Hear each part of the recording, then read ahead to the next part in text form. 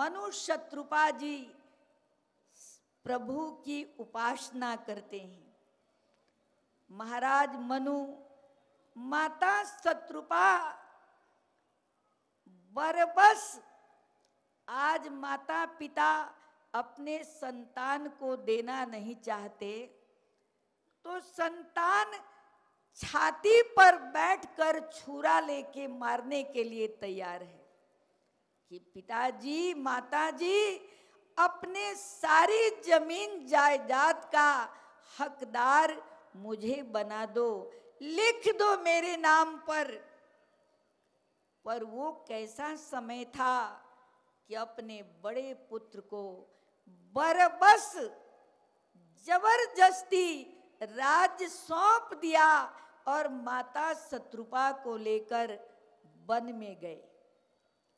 नेमिसारण्य में अट्ठासी हज़ार संतों की कुटिया थी। उसमें बैठ बैठ करके सत्संग सुना। आत्मज्ञान को प्राप्त किया। कौन सा ज्ञान? द्वादश अक्षर मंत्र पुनी। जप सहित अनुराग वासुदेव पद पंकरुहा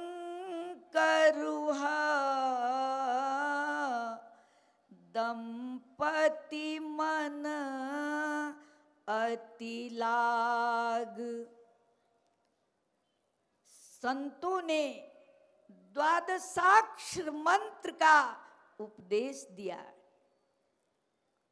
लोग कहते हैं, ओम नमः भगवते वासुदेवाय। ये द्वादश साक्षर मंत्र है। पर उस समय तो हिंदी भाषा, संस्कृत भाषा भी नहीं थी।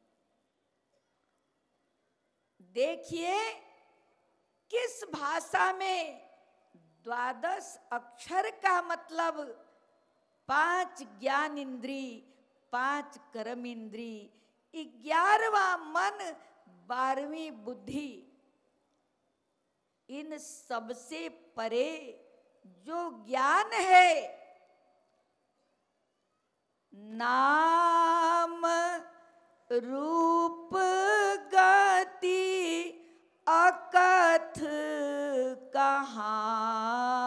आनी समुझत सुखदन परत बखानी।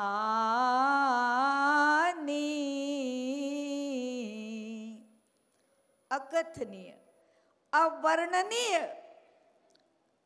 जो जीव जिसको छू नहीं सकती वो अविनाशी अक्षर का ज्ञान संतों ने मनु महाराज और माता शत्रुपा को दिया।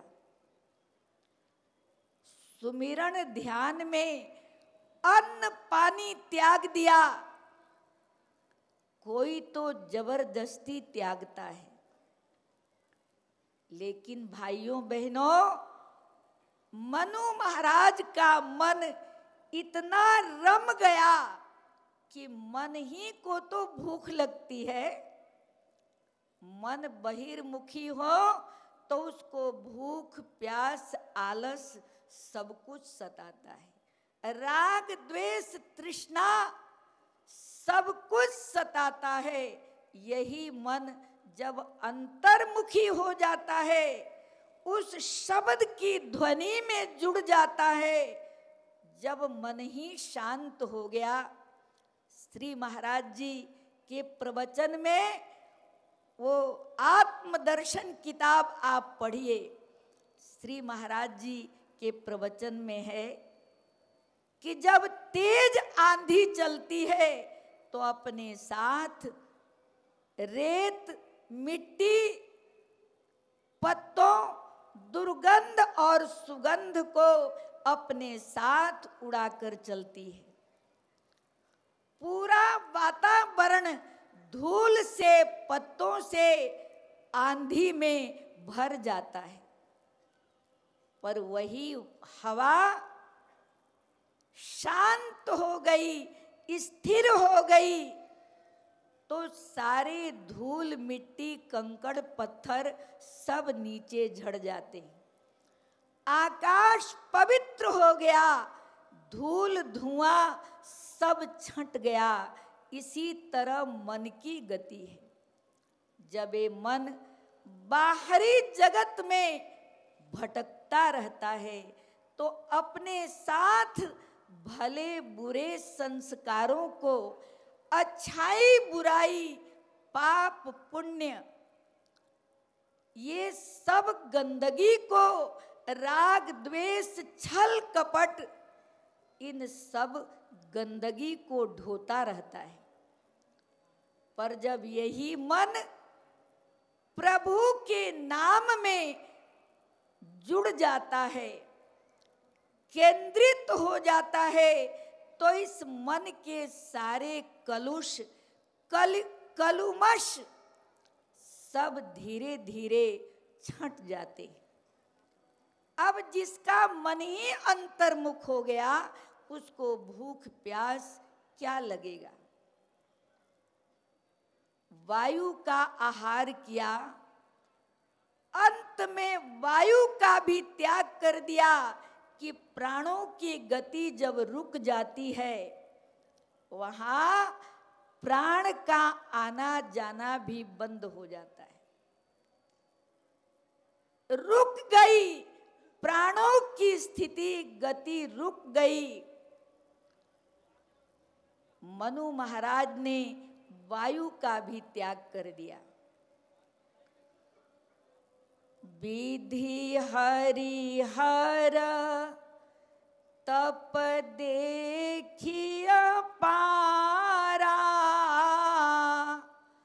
मनु समीप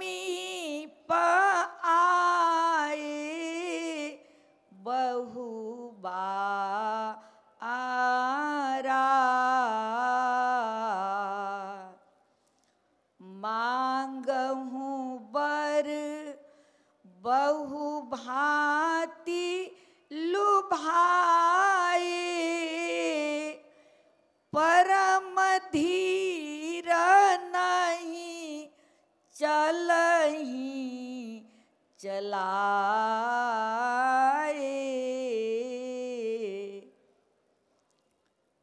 ब्रह्मा विष्णु शंकर जी, जो त्रिदेव हैं, सृष्टि की रचना, पालन और संहार करते हैं। ये तीनों देव प्रकट हो गए कि मांग हूँ, बर, मनु, महाराज, आपको क्या चाहिए मांगो? पर मनु महाराज कहते हैं कि जिससे आप भी मांगते हैं। वरदा एक वरदान जो स्वरूप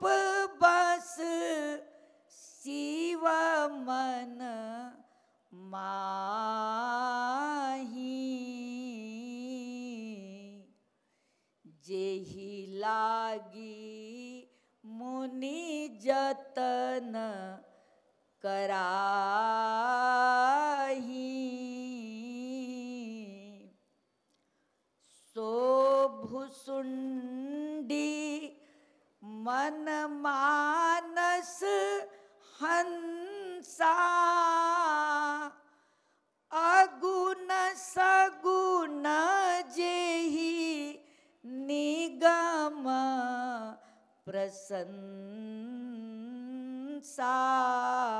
आ देखियहूँ हम सोई रूप भरी लोचन। कृपा करहूँ प्रणतारती मोचन।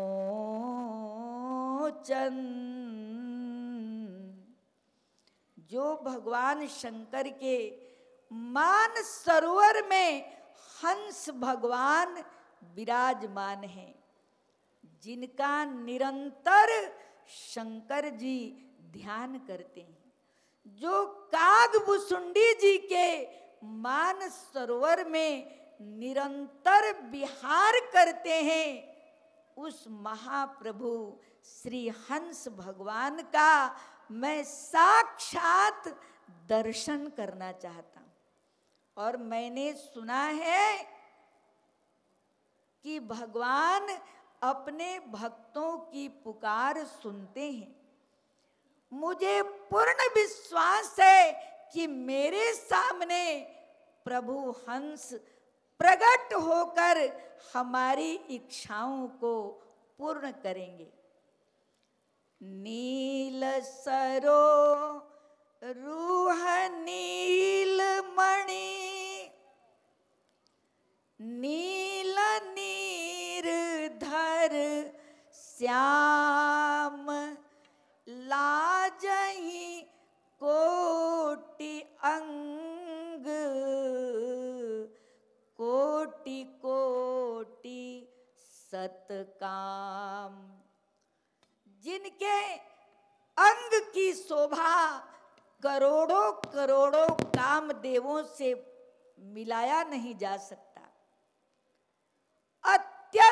मनोहर, उनकी आँखें कैसी थी? उनका दांत कैसा था? उनकी नासिका कैसी थी? मनु महाराज और शत्रुपा माता ने अपने सामने नीला आकाश आकाश अनंत है। वो नील है, नील का मतलब अनंत। भगवान, श्री हंस भगवान के स्वरूप को देखकर एक टकटकी लगाए रहे, अपने शरीर की दशा भूल गए। और उन्होंने यही वरदान मांगा कि मुझे आपके जैसा पुत्र चाहिए। भगवान कहते हैं कि पुत्र तो मेरे जैसा मेरे जैसा तो कोई है ही नहीं, मेरे जैसा तो मैं ही हूँ। इसलिए राजन, मैं तुम्हारे घर में पुत्र रूप में जन्म लूँगा।